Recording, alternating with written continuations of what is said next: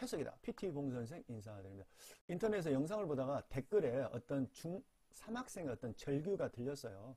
그 학생의 질문이 바로 뭐냐면 공부는 머리로 하나요? 라고 이렇게 질문을 했더라고요. 참 가슴 아파서 이 학생에게 답변을 제가 좀 해주고 싶어서 영상을 제작하게 되었습니다. 지금 시작. 우선 우리 그 중3 학생이 써놓은 걸 한번 제가 읽어보도록 하겠습니다. 이, 이 부분이죠. 이렇게요.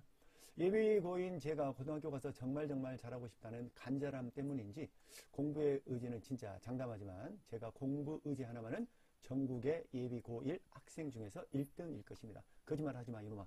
이보다 더 의지 강한 놈들 얼마나 많은데.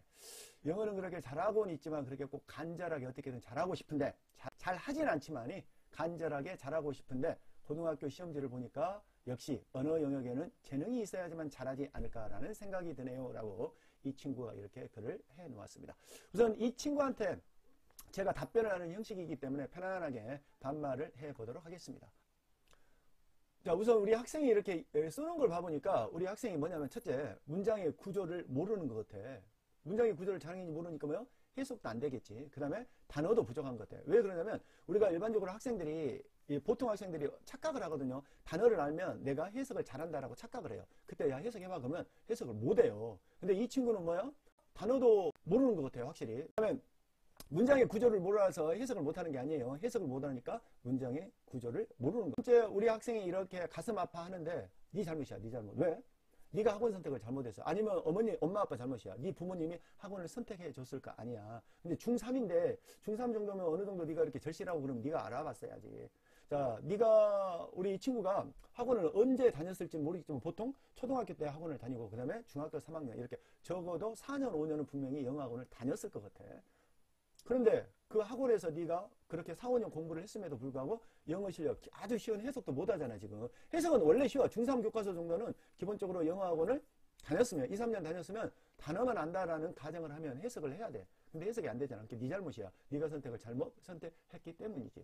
초등학교 중학교 가서 학원에서 못 공부해? 영어 문법 공부하잖아. 해석도 잘 안 되면서. 그러니까 영어 문법은 좀 어렵거든? 그러니까 영어 문법도 당연히 못해 그 다음에 해석도 당연히 못해. 왜? 해석 안 가르쳐 주나. 우리 일반 학원에서 독해를 하면 어떻게 해요? 책을 아무거나 하나 선정을 해. 그리고 선생님 먼저 강의를 해.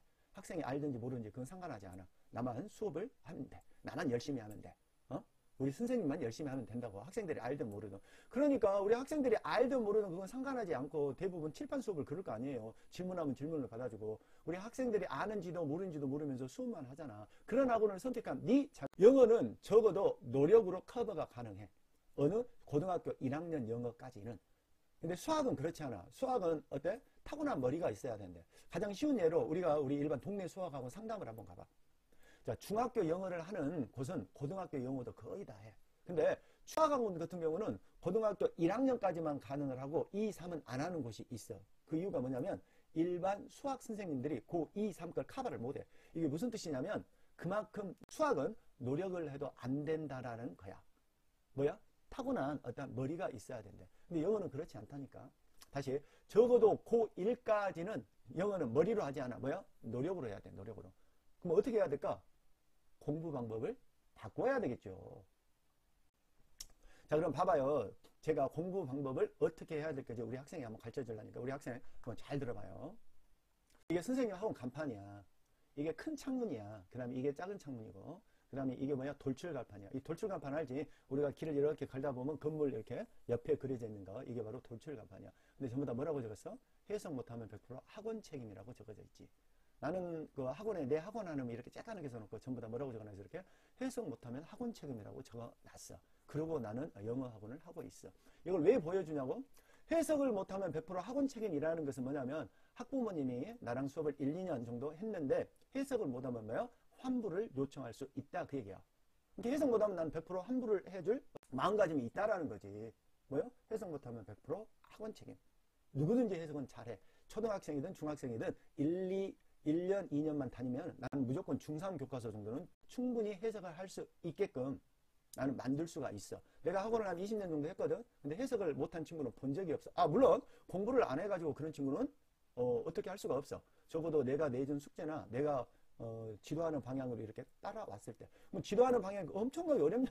아니야. 그냥 성실하기만 하면 돼. 이걸 왜 전제를 까냐면 선생님을 한번 믿으라 그 얘기야 믿으라 자 그럼 공부하는 방법을 가르쳐 줄게. 이건 선생님이 써놓은 책이야. PT 봉 선생 기, 기본 구문독해 이렇게 기초 구문독해 이렇게 만들어 놨잖아. 이렇게 네 권의 책을 이렇게 써놨어.